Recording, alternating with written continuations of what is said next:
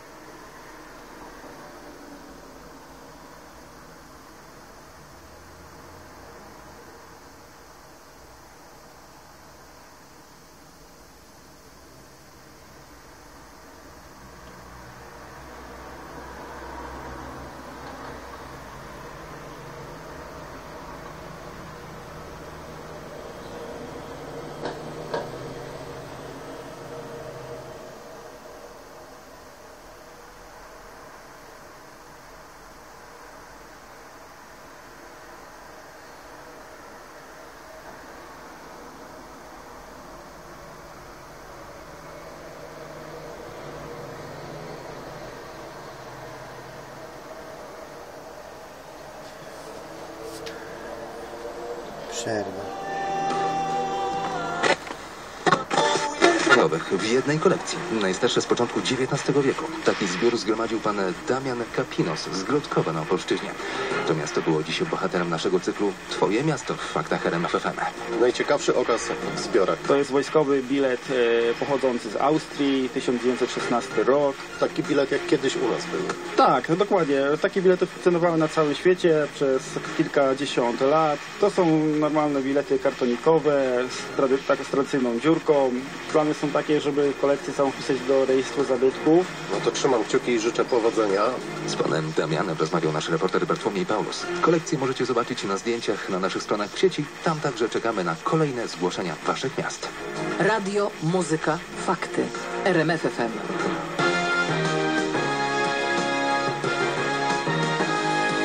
Czerwcowy niedzielny poranek dość przyjemny i ciepły, bo od 14 w Zakopanem do nawet 18 stopni w Poznaniu i Wrocławiu nie będzie deszczu, za to deszcz pojawił się po południu na Nizinie Szczecińskiej i także na Suwalszczyźnie. Dobra, dobra, kończ, poko- kończ pogodę, bo telefon dzwoni. Aha, okej. Czy to jest właśnie na wycieczce ze szkołą? Słuchamy radia właśnie waszego. Ty to daj nauczycielkę do telefonu i śpiewajcie całym autobusem. Halo? Głośno. Gdy strumyk płynie wolna, rozsiewa zioła maj. Hej! Zapraca rosła polna, ale zrozumiała to droga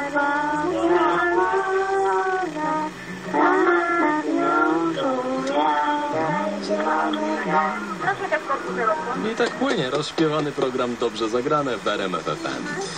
Dzieci ładnie śpiewały, chyba tylko trochę śpiące.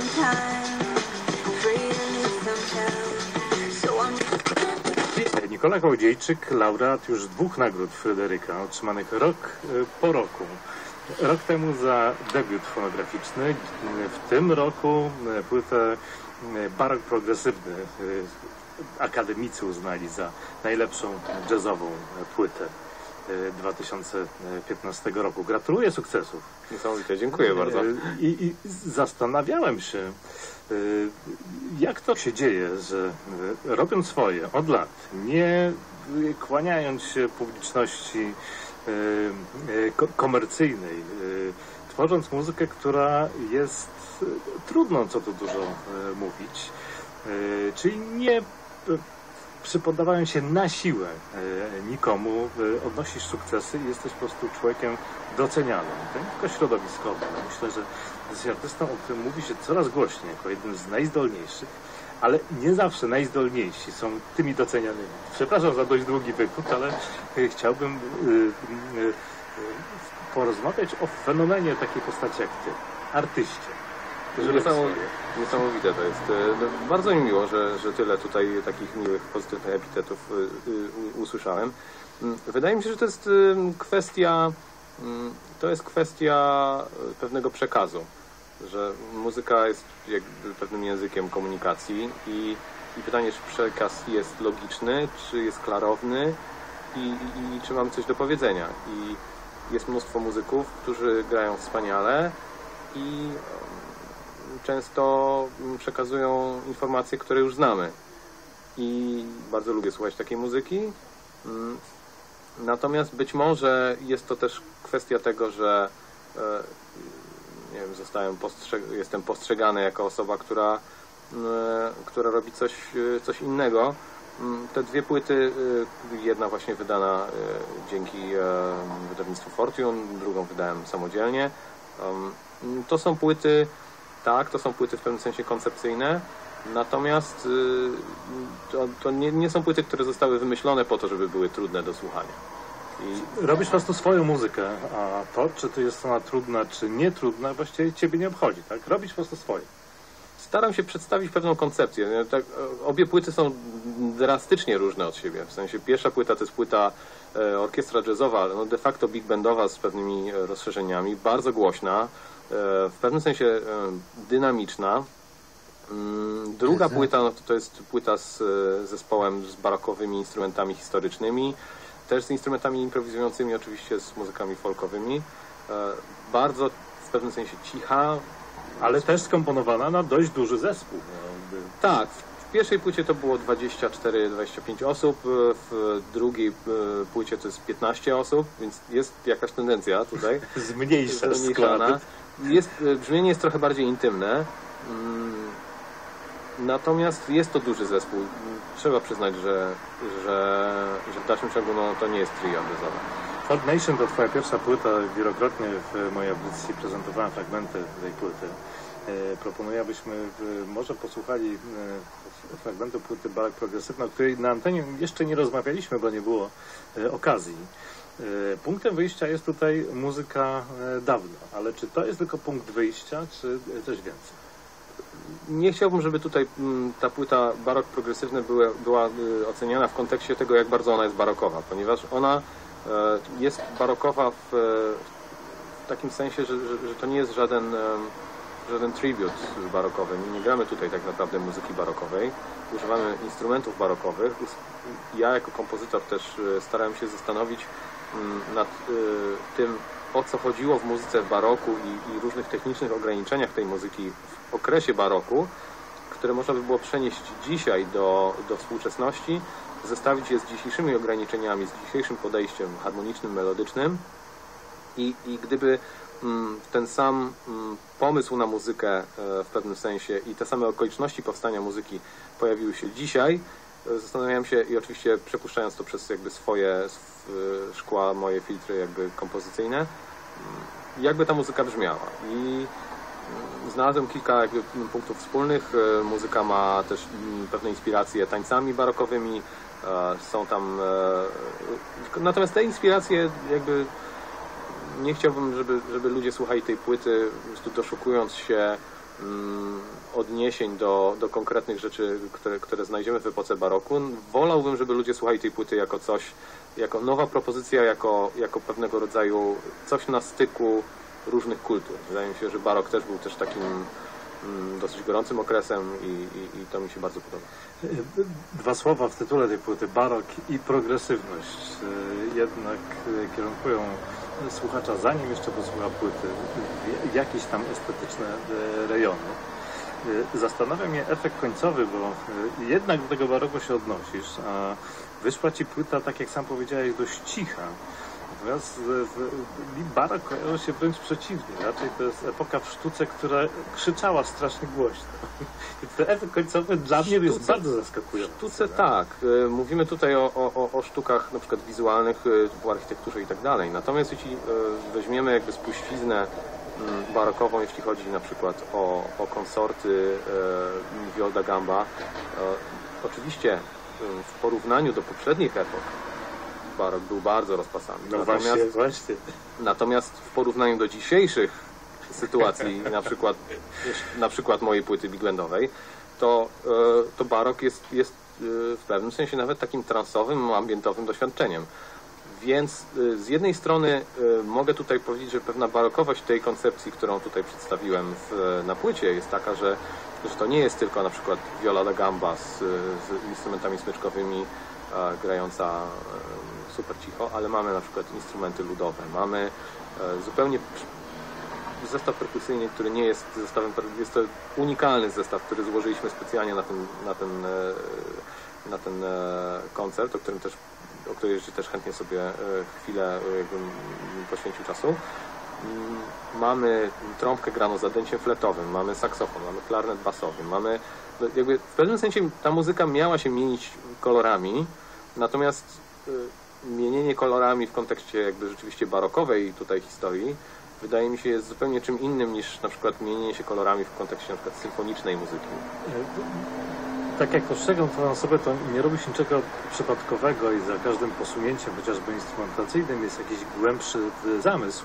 E, Powiedz mi w takim razie, e, skąd ten pomysł z użyciem instrumentów ludowych? Co chciałeś uzyskać przez ten sound? Mm, mm, To jest z jednej strony lubię łączyć różne światy, lubię łączyć, tutaj akurat na płycie mamy też y, trzy różne rodzaje podejścia do, do, do, do, do grania muzyki. Mamy właśnie muzyków klasycznych, y, natomiast y, jest ich bardzo, bardzo mało i mamy muzyków klasycznych, którzy zajmują się wykonawstwem historycznie poinformowanym, czyli grających na instrumentach ze strunami jelitowymi, właśnie skrzypce barokowe, viola da gamba, wiolonczela barokowa i tak dalej. Mamy również improwizatorów, muzyków grających mainstreamowy jazz, mamy e, również muzyków, którzy grają jazz awangardowy, a jest to tylko 15-osobowy zespół, więc jest to taki taka historia dosyć, yy, no, każdy jest jakby wykręcony w trochę inną, inną stronę. Mm, Mamy muzyków, którzy są po prostu czytaczami, yy, ludzie, którzy po prostu wykonują perfekcyjnie swoje partie, yy, również w, jeśli chodzi o muzyków jazzowych i mamy ludzi, którzy są takimi wolnymi elektronami. Jest to połączenie jednocześnie światów właśnie z yy, mm, innych światów muzycznie, ale również też psychologicznie. I muzyk, y, mamy właśnie y, Martę Sołek, która e, studiowała na, mam wrażenie, jedynym takim wydziale instrumentów ludowych u, u, u pani profesor Marii Płomianowskiej. Mm, I ona y, jest jakby tym elementem ludowym, gra niesamowicie oberka, na przykład na suce biłgorajskiej, naszym wspaniałym instrumencie ludowym. Gra również piękne frazy na sarangi, instrumencie indyjskim. Połączenie tego razem z instrumentami e, barokowymi, tutaj na przykład instrumentacyjnie, dlaczego to dobrze, dobrze gra, ponieważ na przykład sarangi ma również struny jelitowe, tak samo jak skrzypce barokowe. W związku z tym o wiele lepiej sarangi działa w kontekście właśnie muzyki barokowej niż na przykład współczesnej, bo wtedy sarangi nie wtapia się tak dobrze w zespół. A mam wrażenie, że łącząc muzykę barokową właśnie z takim podejściem ludowym, okazuje się, że, że znajdujemy e, jakieś takie wektory, których wcześniej, które wcześniej nie zostały e, bardzo, bardzo dogłębnie jakby zbadane. A dodając do tego jeszcze e, taką wrażliwość muzyka improwizującego, który jakby nie narzuca jakby swojego materiału, ale dobarwia to wszystko jakby, jakby swoją wrażliwością. Wydaje mi się, że dostajemy pewien taki sos, który, mm, który sprawia, że że na przykład ja słucham tej płyty właśnie e, w charakterze takiego e, trochę wyciszenia, trochę takiego mm, w ogóle podoba mi się mm, ta koncepcja w ogóle w muzyce.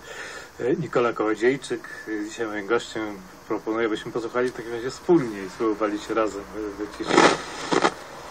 Zrodziła się z piosenki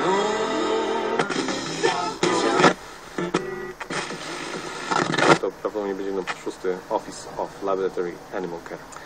Barak progresywny Nikola Kołodziejczyk.